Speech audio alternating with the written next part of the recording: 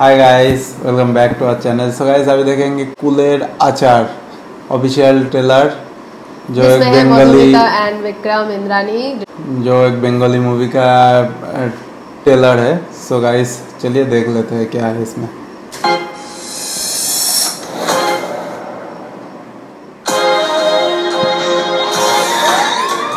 This is very unlawful. We are married and we have come here for honeymoon and There is no proof.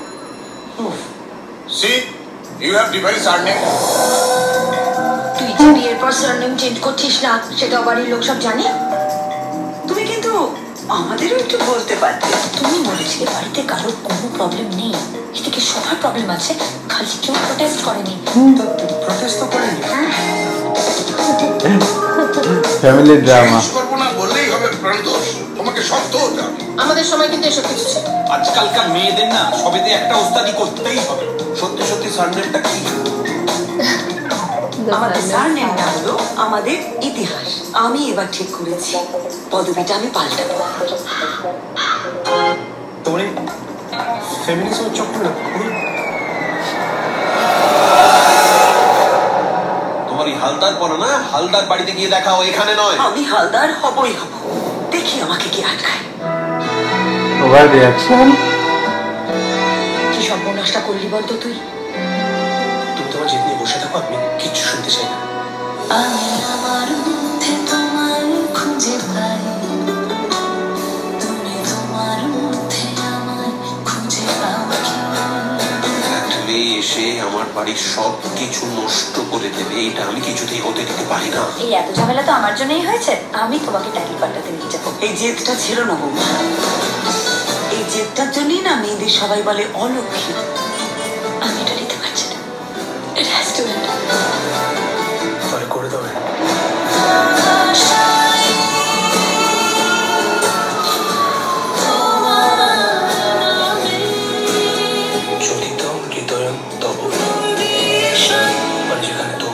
সেখানেই আমার মন।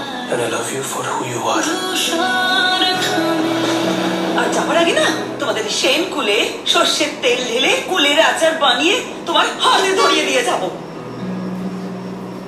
comedy romance and a lots of emotion lots of emotion it's like uh, Bengal, bengali daily day to day serial it's not like that it's actually on a very uh, feminine topic And it should be raised नहीं topic topic feminine लेकिन uh, अभी ये old है मतलब back dated है this movie should I think should have been made 5 years back 5 years नहीं? 20 years 5 years back because now it's now it's a common thing. Uh, lots of uh, families are agree लेकिन अभी भी जो चीज़ बहुत common है वो सिर्फ़ बहुत ज़्यादा टाउन या मेट्रो सिटीज़ में ही कॉमन है। ऐसा नहीं है कि विलेज या विलेज सराउंडिंग एरिया में भी वो चीज़ बहुत ज़्यादा कॉमन है। ऐसा नहीं होता। और लेकिन ये इस फ़िल्म की बात करते हैं कुलेर राजा फ़िल्म तो स्टार्ट है मेरे ख्याल से ज़बरदस्त रोमांस से लड़के लड़के के बीच के स्टोरी से स्टार्ट है एंड फिर इन लॉज फैमिली के साथ अल्टीमेट एंड है सास बहू के प्यार के साथ। नहीं उसके साथ साथ इंद्रानी हलदर का भी डिवोर्स के बजाय मतलब डिवोर्स तक चला जाता है आई थिंक इंद्रानी हलदर घर छोड़ के जाने तक की नौबत आ जाती है लेकिन डिवोर्स मेरे ख्याल से मधुमिता ही मधुमिता होता है। looking so beautiful in this one आचार जो होता है वो एक वन काइंड ऑफ़ पितल है।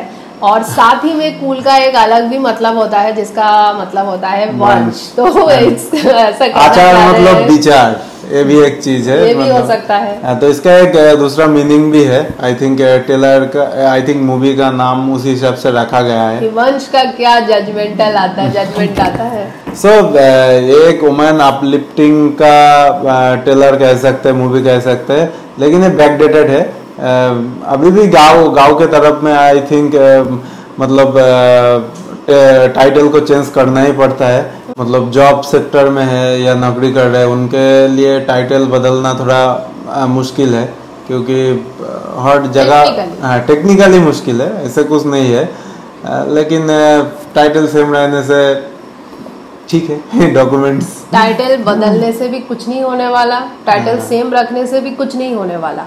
और सेम से बदलने में थोड़ी झमेले में मतलब कुछ पेपर वर्क करना पड़ता है एक ऑफ़िस में दो तीन बार जाना पड़ता है तो क्या ज़रूरत क्या है? अगर बदल लेंगे टाइटल तो सरकार से लाख दो लाख तो मिलने वाला है नहीं।